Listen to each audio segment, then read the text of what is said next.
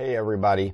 So what I'm going to do uh, tonight is uh, we're going to test this um, mount. And if you haven't watched the previous videos, um, I had some naysayers say that a mount that I designed would not work on the large MSL uh, 2 airplane I designed and built.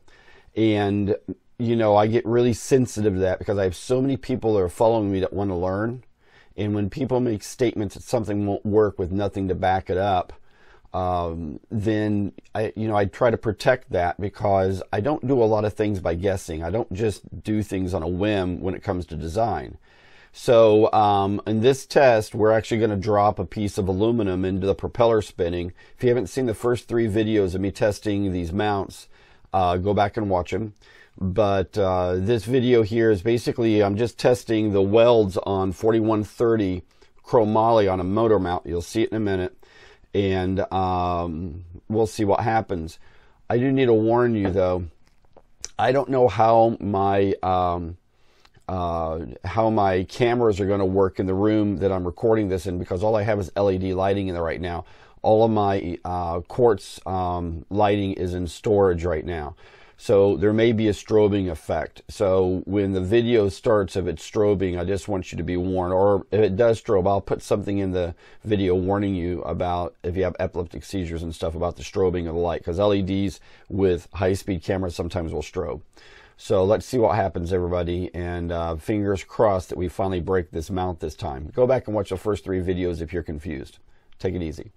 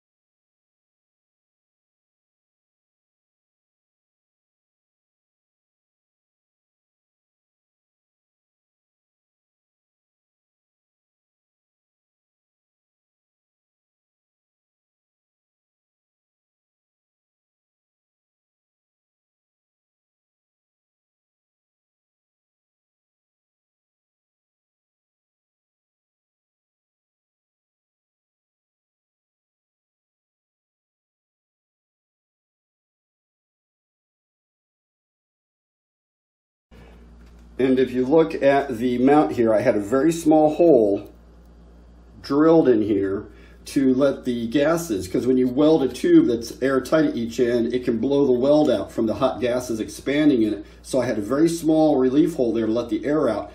And maybe I should have welded that hole closed. But this is where it broke right there. Let me see if I can bend that. Yep. See, that's where, that's where it broke. So my welds are stronger than hell. The 4130 is stronger than hell. Um, this is just insane how strong this was. Rock on. Hey everybody. Well, it blew up. Um, it, it, didn't break quite like I thought it would because um, as you saw from the little video I made, it broke at one of the stress holes. Uh, I'm, I'm sorry, relief holes I had put in the mount. Now that I'm thinking about it, I should have put that hole in the back of the plate or the front of the plate to let the gases out when I was welding. So that was me kind of being stupid. Um, the video did strobe real bad on camera number one, camera two, it didn't. And uh, it looks like we broke it. Um, but, you know, once again, all the naysayers, they can kiss my ass. Okay. I've, I've dealt with people for 20 years that have always said my stuff's not going to work or I did it wrong. And one of my fans pointed out I've got about a 97% success rate. So um, I just hope people who are watching my videos will uh, or looking at the pictures that I'm posting on Facebook or my Patreon, they'll understand that I'm not guessing. A lot of this i am I'm, I'm pulling it from other experiences I've done. Um, I am shocked that the 4130 and my welds are as strong as they are because I'm building a full scale ultralight right now. So I have nothing to worry about with my welds and my airframe.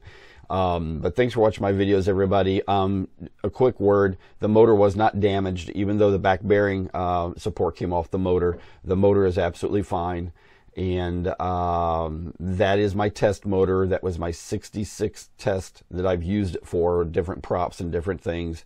So that's not a motor that I fly. Um, so that's pretty much it. So thanks for watching these videos, everybody, and everybody have an awesome evening. It's really late, and uh, rock on.